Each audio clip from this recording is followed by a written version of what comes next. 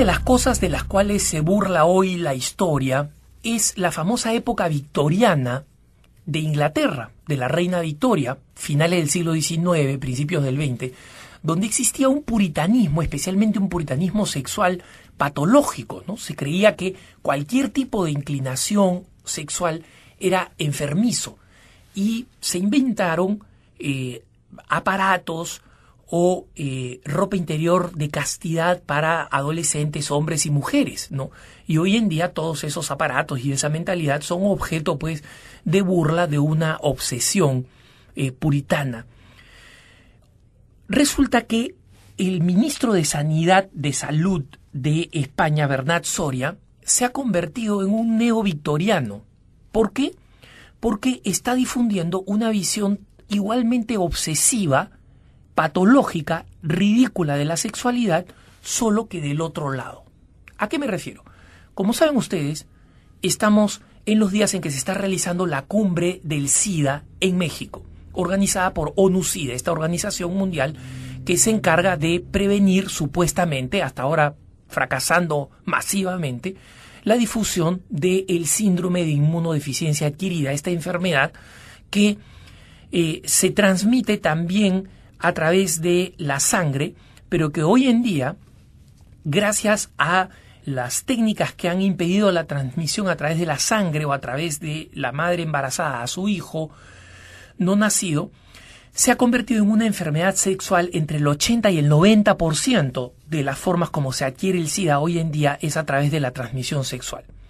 Entonces, en España ha habido una reducción leve del número de personas del SIDA y el ministro de Sanidad está cantando victoria, ¿no?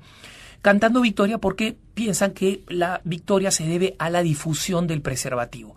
Y Bernat Soria se siente tan seguro de esto que se atrevió a decir en México lo siguiente, miren ustedes, los mensajes a favor de la abstención, o sea, de la abstinencia, los que promueve la Iglesia, no solo dañan la salud, sino que son criticables desde el punto de vista ético. La evidencia científica demuestra que la forma más efectiva de evitar la transmisión del VIH es el uso del preservativo. Eso es ciencia. Estas declaraciones son realmente victorianas, son de alguien que está mal de la cabeza, que tiene una obsesión con el sexo, solo que en el otro lado de eh, la era victoriana eh, inglesa. En primer lugar, la abstinencia no solo daña la salud, daña la salud. La abstinencia daña la salud. ¿De dónde ha sacado este dato ese señor?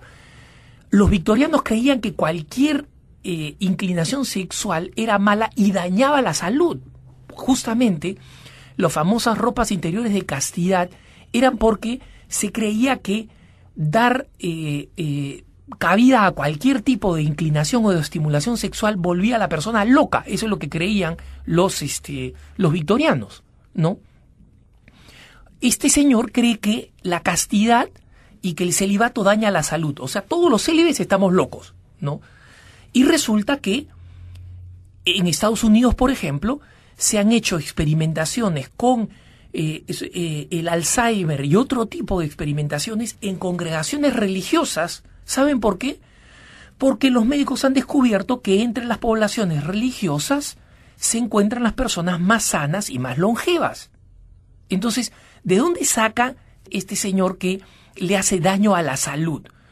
Considerando que además existe ahora una cantidad enorme de enfermedades de transmisión sexual, muchas de las cuales se transmiten incluso con el preservativo, porque se transmiten simplemente por el contacto de la pelvis, o sea que el preservativo no sirve de nada, como una enfermedad grave como la clamidia, por ejemplo, que hace que las mujeres se conviertan cuatro veces más propensas a cáncer del útero.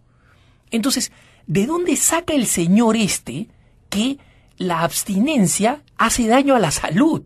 ¿Está mal de la cabeza? ¿O es un farsante de pacotilla? ¿No? Lo que sea, esa es la realidad. Así nos encontramos, en esas estamos, con este ministro que dice eso. Y en segundo lugar, dice que el preservativo eh, reduce la transmisión del SIDA que está demostrado científicamente. Eso es cierto, eso es cierto, pero es una falacia. Ya saben ustedes, una falacia es una mentira que aparenta verdad. Y explico por qué. En una población que es masivamente libertina sexualmente, como es la buena parte de la población española, y donde las personas que aún conservan un sentido de la pureza y del sentido del matrimonio son una minoría reducida, obviamente, si una persona va a tener 80 relaciones sexuales,